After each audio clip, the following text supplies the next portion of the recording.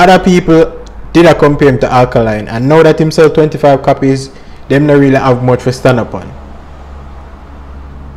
One song, one song can't stand up on.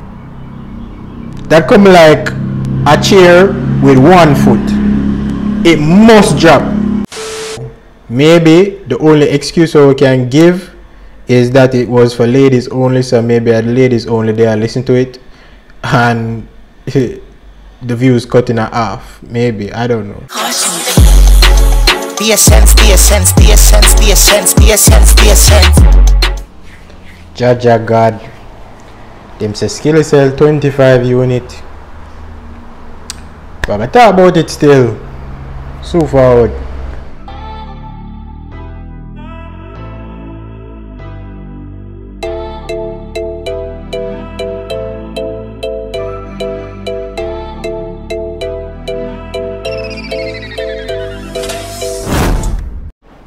I'm not gonna lie, I think Skillibeng should have put a price on the album. Eh? I think him should have just make it be free and done. Because no marketing never dey behind it. No promotion never dey behind it. Honestly, I just see the song them a drop on YouTube and me I wonder how so much song I drop. Me never know say it was a slappy tape. The only way me know say it was a not even slappy tape, sorry. We named the Prodigy Ladies Only. The only way me know say it was actually like a mixtape was when me say the whole of the song them we drop have the same cover art on it. So me realize say okay, it look like it's a mixtape. But me not think him they take it that seriously as oh me I try compete with other man in other genre in terms of sales and this and that. So me even go compared to what Alkaline do or nobody else. To be honest with you. Me just feel like say him just did a drop a mixtape when him do with somebody and I don't know for what reason but him decide to put a price on it and sell it. Whether that is detrimental or not, we're gonna talk about that. But yeah, for be honest with you, what I am going to criticize was the fact say that mixtape there, I already talked about the marketing behind it. Because all of the song them not even did drop in one day. I think some of them did drop one next day and like I, I think I like three days straight in like in my drop the song them one by one. And I say, what is? And then now the thing with the the album lie to you, it wasn't that good. It wasn't that good. Me never hear no song where really stand out to me. All of them they kind of sound similar. It they seem like it was just a rush thing. May I be completely honest with you. I'm not pick up for the man in terms of that. It never seemed like quality.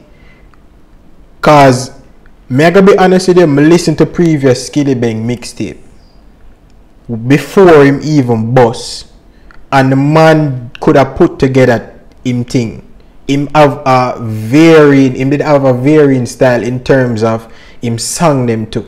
Some of them lyrical some of them this but that that that mixtape was just basically me that say all of the song them was just some one syllable for the chorus and then a regular ass verse. Like none of them never really stand out to me only thing him they create a challenge with the sloppy challenge and the girl them did I get wild and everything and that song that they kind of pop off because people are listening to it. But honestly the mixtape it never seemed like it was prepared for be something where was going to be sold. Should we condemn him for selling 25 copies?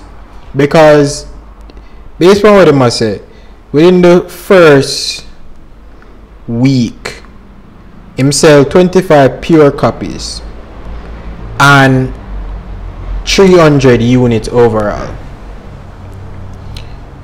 Even if it was rushed and even if it wasn't well marketed and them something I feel like Skillibeng should have pulled more than 300 units honestly.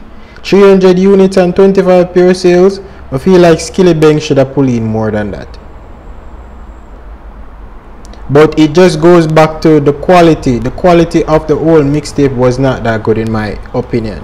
I can't even lie to you and tell you say it was it wasn't. One of the things that when hear people I say is because it did drop on youtube um it, that would have hurt the sales and because it did up on Audiomack and them something. People need to understand say them things that count towards the streams so that would have in at the 300 units. So we can't really use that as an excuse. Now maybe the only excuse we can give is that it was for ladies only so maybe at ladies only they are listening to it and the views cut in half maybe i don't know. That are the only excuse we can give in terms of this sale. Because anything else we have to just put the accountability on him in terms of poor marketing. Yeah poor marketing and low quality it wasn't that good. The fact said nobody never know about it until it dropped and we just listen to it and then we hear song back a song back a song and we say oh this look like a mixtape. That means it no market good. That means that you never prepare your audience for no say yo. You see like how everybody did know say top prize did come out? And like how everybody did know say like oh everybody now know say um 438 are gonna come out for massacre?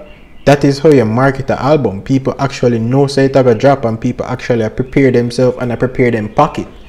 Remember say this a covid time like per short space notice people not gonna really get up and spend money like that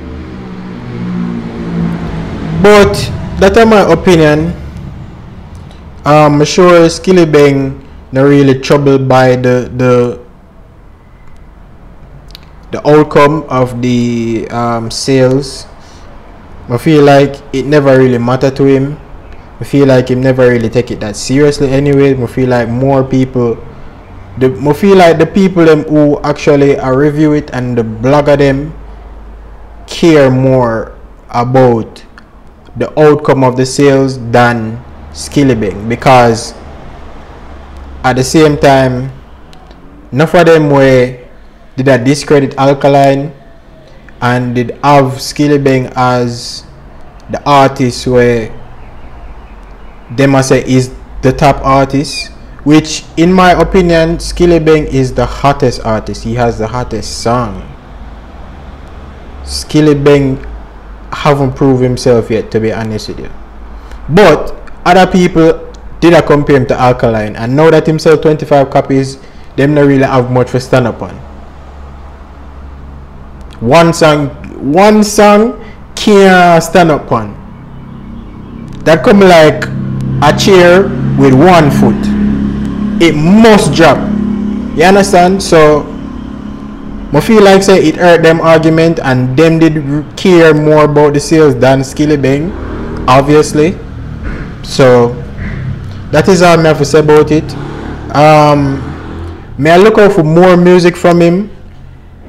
Actually more want him for do more quality control release less music and focus more upon um, putting out more potent music music where I go hit harder and not just be something to listen to and then be forgettable.